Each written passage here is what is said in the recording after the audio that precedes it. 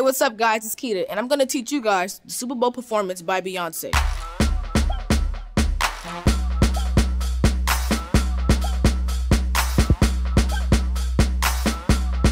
So, first move, you are gonna go one and two and three and four. One more time. Five, six, a little faster. Here we go. One and two and three and four.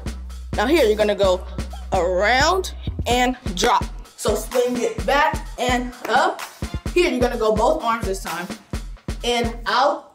You're gonna go legs together, up, then drop. Now add that on from the top. Let's try it together. One and two and three and four and five and six. Look, look, and bam. There you go.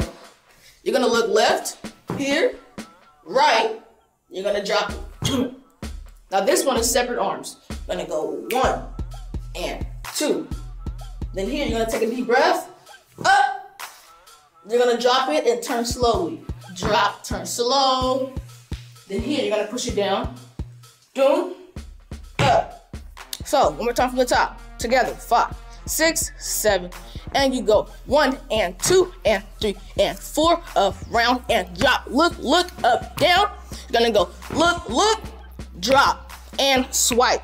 Swipe. There you go. Now here you're gonna go deep breath, drop. Turn slowly. You're gonna go push down as your right leg comes up and drop. Now let's try with music.